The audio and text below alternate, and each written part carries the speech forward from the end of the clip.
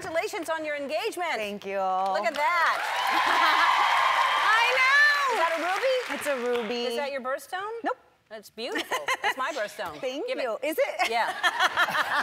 it is. That's Thank beautiful, you. though. Thank you so much. Congratulations. And his his name is Pepe. Pepe. And Yeah. but uh, Pepe, you call him Mr. Fancy Pants. Yes, Mr. Fancy Pants. Have you- last, last time I was oh, there he is. Uh-huh. He's so handsome. Well, we can't tell. I know. You know what? Last time There I was he here, I said, handsome. I oh, there he is. I said he's so private, and so uh, when I got engaged, I was like, I, I gotta tweet this.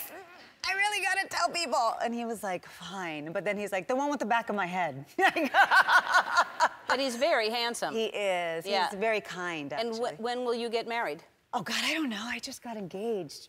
But isn't that the point? Don't you set a date? Um, I guess I guess that's how I've been. Yeah, we've both been married, and so it's it's not as pomp and circumstance as I guess a first wedding. So you're just going to enjoy the ring and, and Yeah. engagement for a little while. Yeah, I want to. and, and so you you met him after uh, Desperate Housewives. Yeah. Was he a fan of that show? No, it was so funny. Uh, he had never seen the show. I'm like the only person in the world who hasn't seen Desperate Housewives. But somebody introduced us, and he was like, I, "Who, who is she?" Which was great, by the way, which I loved. And uh, yeah, he didn't. He's never known me as like working. He's like, "Oh, so you were, you're an actress?" I'm like, "Yeah, I'm a pretty big deal in China. Like, I, I like people see my show all over the world." But no, he's great. Uh, Didn't but he he see still people coming up to you? Like it- it- All the ways. People come up to me all the time, and he just doesn't really get it. Like, they really like you. I said, yeah. But it's fine. No, then he goes, I'm gonna watch. I'm gonna watch. I, everybody talks about I'm gonna watch, and he he tries to watch. And of course, I'm like banging the gardener in the first series, in the first season, and he's like, I don't want to watch. And Yeah. I was like, yeah, yeah, let's jump to season five. Right. That's when I was like not sleeping with anybody. Yeah. Yeah.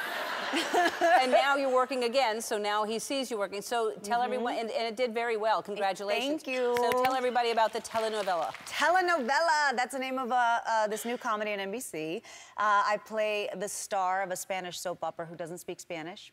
So it's a little problematic. That is Ana Sofia. Uh, and she's uh, insecure and like exact opposite of Gabby. Like Gabby was like confident and egotistical, and she's like a shrinking violet. Ana Sofia's very funny, very physical and uh, her ex-husband comes back in the pilot and she has to work with him and uh, that's like very war of the roses and it's an amazing cast we have the funniest cast on television if you like desperate housewives you're going to love telenovela it's like it's like uh, comedy on steroids And you get to do a lot of physical comedy. a on this. lot a lot Yeah. Do you like doing that?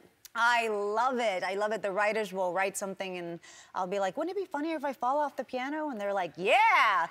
Uh, and then I would end up going home with like, you know, injured every every week. I would be tweaking my shoulder and then I hit my knee. And, But but it's very fun. but it's so Very fun. fun, yeah.